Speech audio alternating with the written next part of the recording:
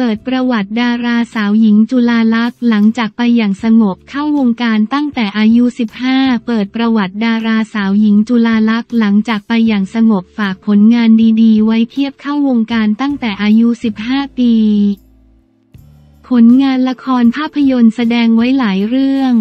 เป็นอีกความสูญเสียในวงการบันเทิง เมื่อดาราสาวหญิงจุฬาลักษณ์ได้จากไปอย่างสงบด้วยโรคมะเร็ง โดยมีการแจ้งกำหนดการการสวดอภิธรรมและชาปนกิจ นักแสดงสาวหญิงจุฬาลักษณ์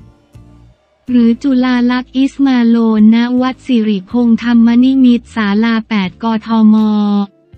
ตั้งแต่วันอังคารที่วันที่ 16 มกราคมถึงวันที่ 23 มกราคม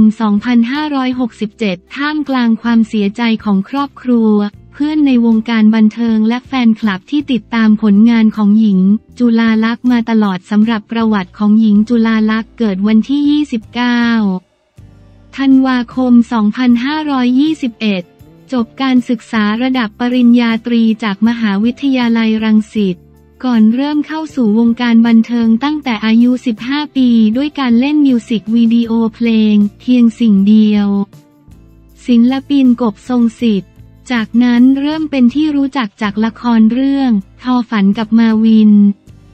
และมีผลงานด้านการแสดงละครและภาพยนตร์อีกมากมาย อาทิจันหรือจะฉาย บันทึกจากลูกผู้ชาย คุมทรัพย์อมตะนคร พระอภัยมณีเป็นต้น นอกจากนี้ยังมีผลงานละครล่าสุดอาทิบท ยี่สุนจากละครหนึ่งด้าวฟ้าเดียว ที่แม้ลาจอไปได้สักพักแล้วแต่ก็ยังได้ใจแฟนละครที่จดจำได้ ขณะที่ชีวิตส่วนตัวของหญิงจุฬาลักษณ์แต่งงานกับเดวิดอิสมาโลน และมีลูกสาวด้วยกันหนึ่งคนคือน้องแองจี้ figure skating แองเจลีนาอิสมาโลน สุดอาลัยหญิงจุฬาลักษณ์นักแสดงสาวชื่อดังสุดเศร้าเผยกำหนดการพิธีสวดอภิธรรม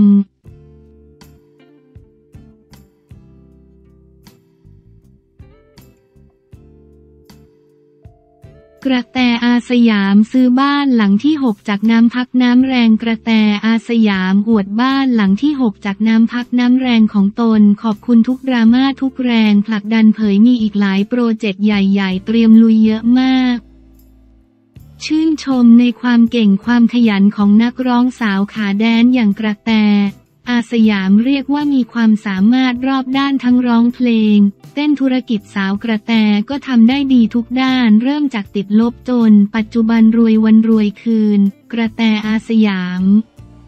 อวดบ้านหลังที่ 6 ล่าสุดสาวกระแตได้ลงรูปในอินสตาแกรมส่วนตัวซื้อบ้านเพิ่มอีกหลัง เป็นหลังที่ 6 แล้วหลังนี้ตั้งใจให้เป็นโฮมออฟฟิศทั่วคราวเพื่อให้ทีมงานได้อยู่ พร้อมให้กำลังใจทุกคนขอบคุณทุกแรงผลักดัน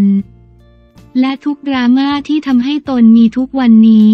พร้อมระบุข้อความกระแตอาสยามอวดบ้านหลังที่ 6 ด้วยน้ำพักน้ำแรงบ้านหลังที่ 6 ของฉัน เราไม่ได้เกิดมาในครอบครัวที่มีพร้อม มีเงินทองกองให้ลูกหลานและแตรเริ่มจากติดลบค่ะ ฉันโคตรจะภูมิใจในตัวเองเลย จากการทำมาหากินแบบสัมมาอาชีวะ จริงใจกับทุกงานที่ได้ทำมันทำให้เรามีวันนี้จริง ๆ การจะมาจุดนี้ได้แน่นอนว่ามันโคตรเหนื่อยเลย เหนื่อยของคนเราไม่เท่ากัน รู้แค่ว่าใครทำสิบแตรทำหนึ่งร้อยใครใส่หนึ่งร้อยแตรไปหนึ่งพันและจะยังไม่หยุดจนกว่าจะสารฝันตัวเองให้ครบเครื่องหมายสี่เหลี่ยมปีนี้ บริษัทและโรงงานที่กำลังเริ่มสร้าง ใกล้เสร็จแล้ว และยังมีอีกหลายโปรเจกต์ใหญ่ๆ ที่เตรียมลุยอีกเยอะมาก ยังเหนื่อยอีกเยอะเลยฮ่าฮ่าฮ่าฮ่าฮ่าขอบคุณทุกแรงผลักดันและกำลังใจจากทุกคน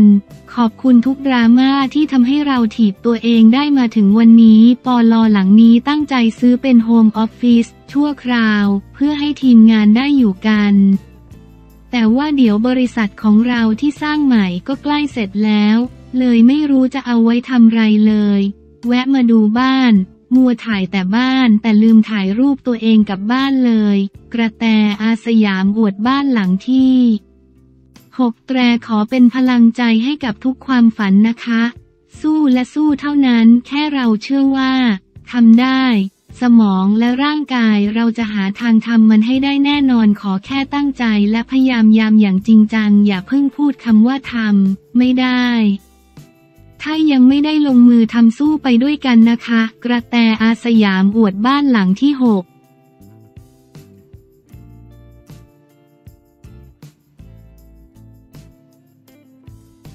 สกู๊ปบันเทิง ท็อป อิสระ รีเฟรช ตัวเองเหมือนนับหนึ่งเป็นเด็กใหม่ เป็นนักแสดงอิสระ รับงานหลากหลาย นักแสดงหนุ่ม ท็อป จรนโสรัตรู้สึกท้าทายตัวเอง โดยตอนนี้มีงานละครอยู่สองเรื่องเรื่อง เจ้าพ่อ ทางช่อง 8 และเรื่อง เกมรักปาฏิหาริย์ทางช่องวัน 31 โดยวันนี้เจ้าตัวมาเปิดใจถึงงานแสดงและธุรกิจ รวมทั้งเรื่องราวความรักสกู๊ปบันเทิงท็อปอิสระรีเฟรชตัวเองเหมือนนับหนึ่งเป็นเด็กใหม่ อัปเดตงานแสดงปีนี้ ท็อป ตอนนี้มีละครสองเรื่องเจ้าพ่อทางช่อง 8 ใกล้เสร็จแล้วถ่ายกันมาเกือบปี ส่วนอีกเรื่องเกมรักปาฏิหาริย์ทางช่องวันใกล้เปิดกล้อง แล้วระหว่างสองเรื่องนี้น่าจะได้ชมเรื่องเจ้าพ่อก่อน เพราะเหลือไม่กี่คิว แต่คิดว่าทั้งหมดน่าจะได้ออนแอร์ปีนี้ที่เขาแจ้งไว้ หลังออกมาเป็นอิสระเป็นยังไงบ้าง ท็อปมันท้าทายขึ้น เพราะเราเป็นอิสระรับงานได้หลากหลายมากขึ้นแล้วเป็นเรื่องที่แปลกใหม่สำหรับผม คือแนวทางละครแต่ละเรื่องการร่วมงานแต่ละช่องก็แตกต่างเหมือนเราไปเป็นเด็กใหม่ ไปสถานที่ใหม่เจอคนใหม่เจอทีมงานใหม่ เหมือนได้รีเฟรชอัพตัวเองมากขึ้น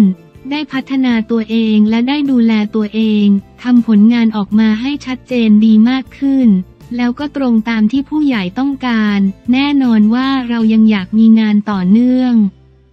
เรายังอยากให้เขาเห็นศักยภาพของเรา สกู๊ปบันเทิง ท็อป อิสระรีเฟรชตัวเองเหมือนนับหนึ่งเป็นเด็กใหม่นอกจากงานแสดงมีอะไรที่อยากทำเป็นพิเศษอีกไหม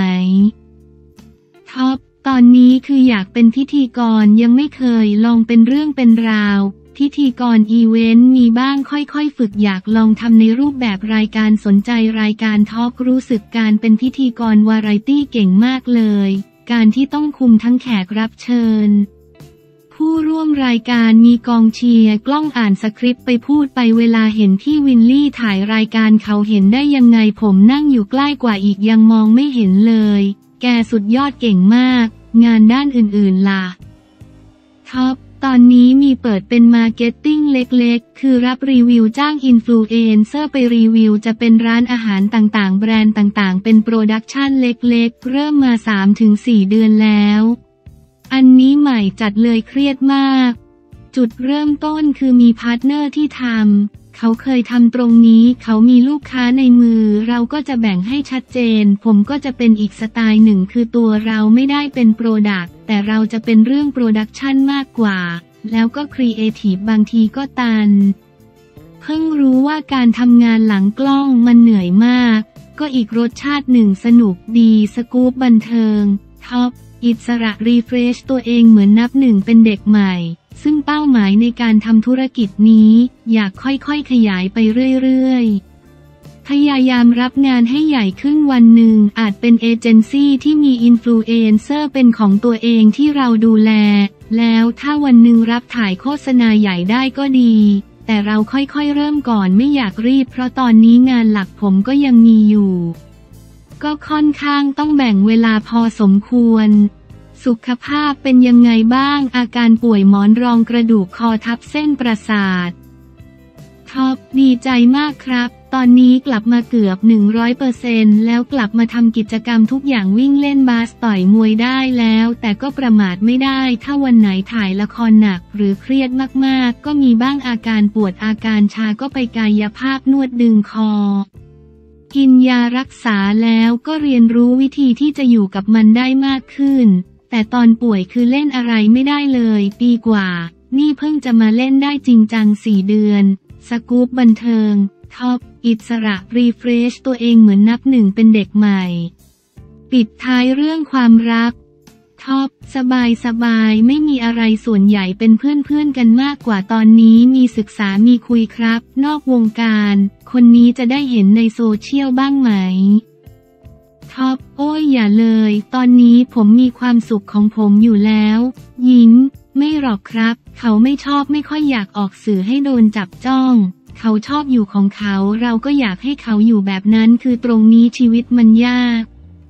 เราพยายามทำอะไรให้มันง่ายขึ้นความรักความสัมพันธ์มันไม่แน่นอน ไม่มีอะไรยั่งยืนเราก็ได้ แต่ชื่นชมคนที่เขาจับมือกันตั้งแต่วันแรกจนวันสุดท้าย แต่เราก็พยายามจะมีคำนี้ไว้ในใจเสมอในทุกๆอย่าง อัจฉริยาบุญชู